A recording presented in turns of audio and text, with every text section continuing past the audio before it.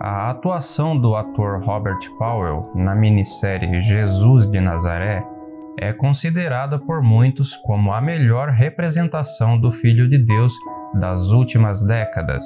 Através da minissérie que foi ao ar em 1977, o ator, até então não muito conhecido, alcançou a fama tão desejada.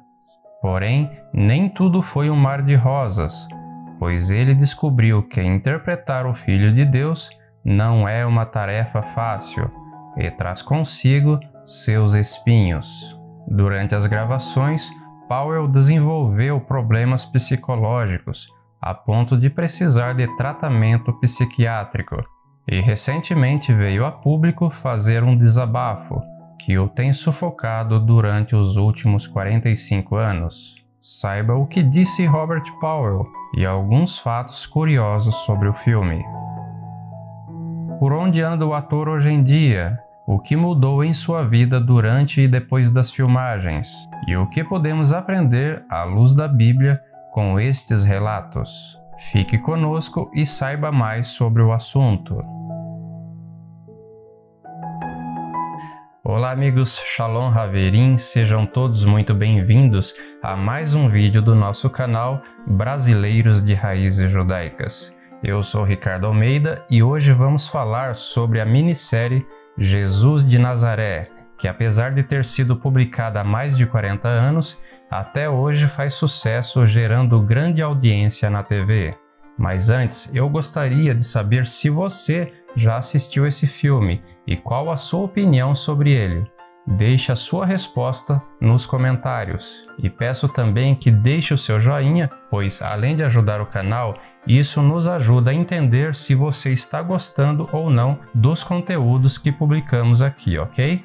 Aproveite e já se inscreva gratuitamente em nosso canal, ativando o sininho de todas as notificações. Bom, o filme Jesus de Nazaré teve como ator principal Robert Powell, que foi escolhido por causa da sua semelhança com a imagem tradicional do Messias no Ocidente. Um homem de pele clara, com longos cabelos castanhos e olhos azuis. Nas cenas da infância do Salvador, o ator que interpretou o menino Yeshua, Jesus, foi Lorenzo Monet, que aparece nas cenas com aspectos físicos semelhantes. Hoje Monet tem cerca de 57 anos. Daqui a pouco vamos mostrar como ele está hoje e também o antes e o depois dos principais atores da minissérie, inclusive de Robert Powell, o ator principal. O Yeshua histórico quase certamente não tinha estas características físicas, mas as imagens tradicionais que o representam são pintadas, em sua maioria, com estes aspectos. A aparência de Powell o favoreceu para a escolha deste papel, pois estava mais alinhada com a imagem do Jesus representado no catolicismo romano, mesmo porque a ideia do filme foi originalmente sugerida pelo Papa Paulo VI, que ao ver o sucesso de dois programas religiosos transmitidos pela televisão italiana, propôs às autoridades filmar a vida de Yeshua.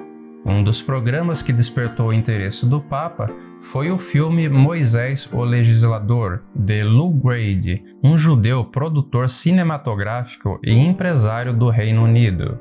Grady foi recebido pelo Papa, que o parabenizou pela realização da obra e sugeriu que seu próximo projeto fosse sobre a vida de Yeshua. O empresário então se organizou para iniciar o projeto, contratando como diretor o cineasta italiano Franco Zeffirelli. Porém, Zeffirelli queria que o projeto fosse aceitável não apenas para os católicos, mas para as pessoas de todas as denominações. Então, ele fez um grande esforço para consultar os líderes de um grande número de religiões, discutindo detalhadamente cada cena e cada peça de simbolismo. Ele também fez questão de garantir que o filme respeitasse o judaísmo, e esse esforço resultou em cenas onde vemos vários símbolos judaicos presentes, como a cerimônia da Brit Milá, a aliança da circuncisão de Yeshua, que, ao oitavo dia de seu nascimento, é levado por seus pais até o Mohel, pessoa responsável pela retirada do prepúcio do membro masculino, em concordância com o mandamento da lei. Também nesta ocasião, conforme o costume judaico, o menino recebe o seu nome, Yeshua, o nome Jesus no hebraico e no aramaico. Também no filme vemos outra cena contendo um símbolo judaico, onde Yosef, José e o menino Yeshua aparecem usando peiote, cachos de cabelos característicos dos judeus ortodoxos, que cumprem este mandamento devido à ordenância da Torá, da lei de não raspar os lados da cabeça. Até mesmo nas cenas de Yeshua adulto, podemos ver que o ator continua usando peiote, porém disfarçadas em meio aos seus cabelos compridos. Inicialmente, Robert Powell foi chamado para interpretar Judas Iscariotes, mas enquanto se protegia do sol com um manto sobre a cabeça, Franco Zeffirelli passou e o e disse que aquela era a imagem do Filho de Deus no Ocidente, colocando-o então no papel de ator principal.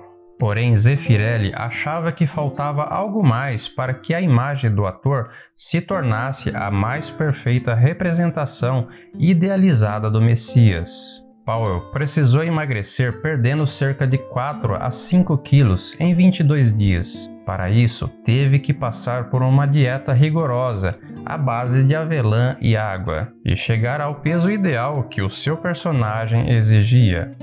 E o seu sofrimento não parou por aí.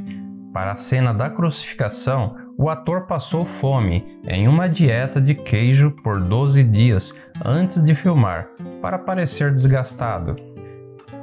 A maquiagem para os olhos de Powell consistia em uma linha fina de delineador azul escuro nas pálpebras superiores dos olhos e uma fina linha de delineador branco nas pálpebras inferiores. Isso teve o efeito de destacar o azul de seus olhos, dando-lhe um olhar penetrante, combinado com as poucas piscadas, aliás, somente uma em toda a filmagem.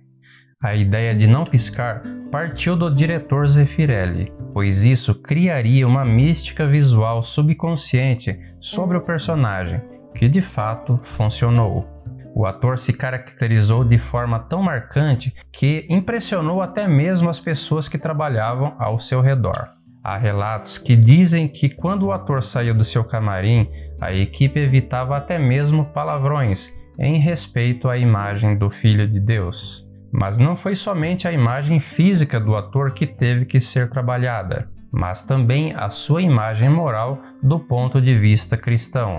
Para evitar críticas, Powell teve que se casar com Barbara Lord, com quem era amasiado há três anos, pois, segundo a direção do filme, para representar o Filho de Deus, o ator não poderia viver às margens dos princípios cristãos. Não ficaria bem. O filme então foi adiado por cinco dias, enquanto sua companheira chegou a Tunis, cenário da minissérie, organizando um casamento relâmpago.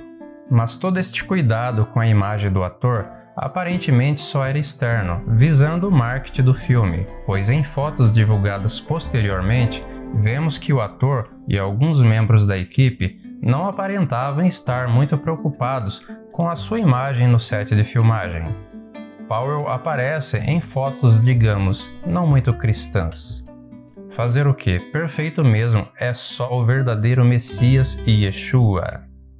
Porém, todo este arranjo, na tentativa de representar o Filho de Deus da melhor forma possível, juntamente com a aparente atmosfera messiânica que o rodeava, começou a mexer com a cabeça do ator.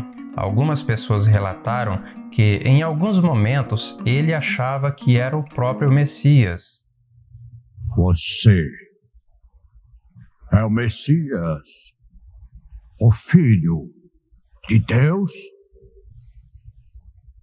Eu sou.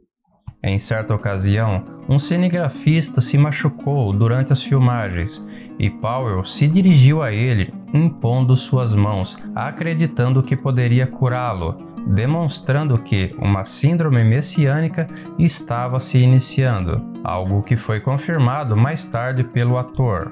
Aos 33 anos e com o sucesso esmagador da minissérie, Robert Powell acreditava que estaria pronto para o sucesso. Na verdade, não seria tão simples assim. Por dois anos, ele teve que ir ao psiquiatra por causa daquela síndrome messiânica que ele havia adquirido durante as filmagens. Resumidamente, síndrome messiânica é um estado psicológico onde a pessoa acredita que é ou será uma figura de extrema importância para o meio em que vive, ou mesmo para o mundo. É também muito comum se nomearem salvadores, pois sente que são indivíduos enviados ou escolhidos por uma força maior ou por Deus para uma ou mais missões para com o mundo.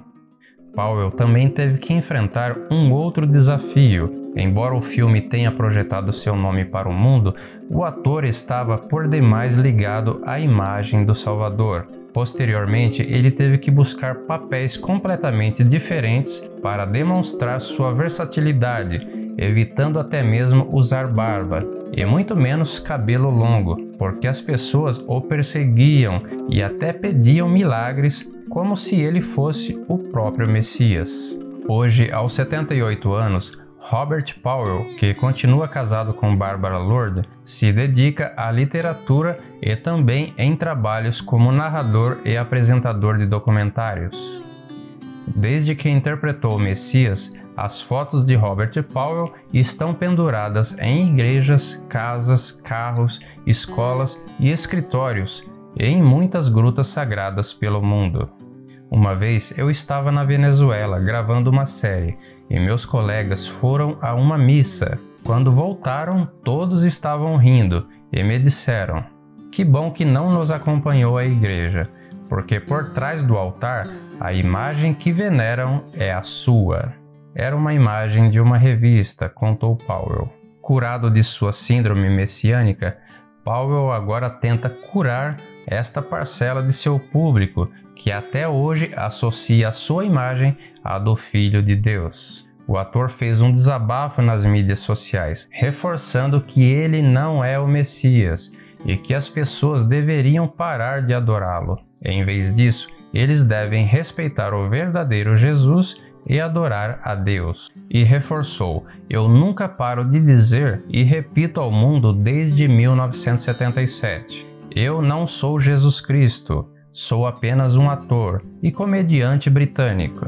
Estou cansado de ver as minhas fotos exibidas em locais de culto. Eu só faço filmes para viver. Queime minha foto e adore o único Deus em verdade. Eu sou apenas um ator. Jesus é o Senhor. Toda esta história nos traz uma lição, um aprendizado, pois, por mais que um ator tente reproduzir a imagem do Filho do Eterno, quer no cinema, TV ou teatro, jamais conseguiria transmiti-la perfeitamente. O erro do ator na época, ao achar que era o próprio Filho de Deus, foi deixar ser influenciado pela suposta aparência do Messias que ele encenava. Se ele e até nós mesmos quisermos ser verdadeiros imitadores de Yeshua, conforme a Bíblia diz, temos que ter atitudes que estejam de acordo com seus ensinamentos e exemplos, para que através deles as pessoas ao nosso redor possam enxergar o Machia em nós. O apóstolo Paulo, cerca de dois mil anos atrás, nos incentivou escrevendo: Torne-se meus imitadores, como eu sou do Machia, Messias. 1 Coríntios, capítulo 11, versículo 1. Muitas pessoas se decepcionam ao ver certos vícios do ator como demonstramos agora há pouco, pois estavam acostumados a ver somente aquela aparência de santidade no filme. Mas, como o próprio Robert Powell disse, eu sou apenas um ator. Não devemos nos apoiar no ser humano como base para nossa evolução espiritual, usando-o como muletas para caminhar, pois mais cedo ou mais tarde vamos nos decepcionar, pois o homem é falho. Devemos nos guiar somente pelo verdadeiro Machia, Messias, o Cordeiro sem defeito. No filme vemos cenas maravilhosas e inspiradoras, pois tem este poder de nos tocar e nos transformar, não porque saíram da mente de um roteirista renomado, mas porque são baseadas nas Escrituras Sagradas, na vida do Filho de Deus. Bom, e os demais atores do filme, como estão hoje? Para o vídeo não ficar muito longo, vamos falar apenas de alguns nomes. Olivia Hussey, que fez o papel de Miriam, Maria, mãe de Yeshua, se encontra com a idade de 71 anos. A atriz fez mais de 40 filmes, dentre eles Romeu e Julieta, em 1968, onde interpretou a personagem Julieta. Yorgo Voyegues, o ator que interpretou José, marido de Maria, se encontra atualmente com 76 anos. Participou de vários filmes, dentre eles O Dia do Cerco, 11 de setembro de 1683, lançado em 2012. Anne Bancroft, a atriz que fez o papel de Maria Madalena, já não se encontra entre nós, pois faleceu em 6 de junho de 2005 aos 73 anos. Anthony Quinn, que interpretou Kohen Gadol, sumo sacerdote Caifás, também não se encontra entre nós, falecendo em 3 de junho de 2001 aos 86 anos. Lorenzo Monet, que interpretou o menino Yeshua, se encontra com cerca de 57 anos. Ao que parece, abandonou a carreira de ator e atualmente trabalha no Observatório Astronômico de Trieste, na Itália. Há poucas informações sobre ele. Bom, chegamos ao fim de mais um vídeo. E você, o que achou deste assunto? Deixe a sua opinião nos comentários. Que o Eterno te abençoe. Shalom, shalom.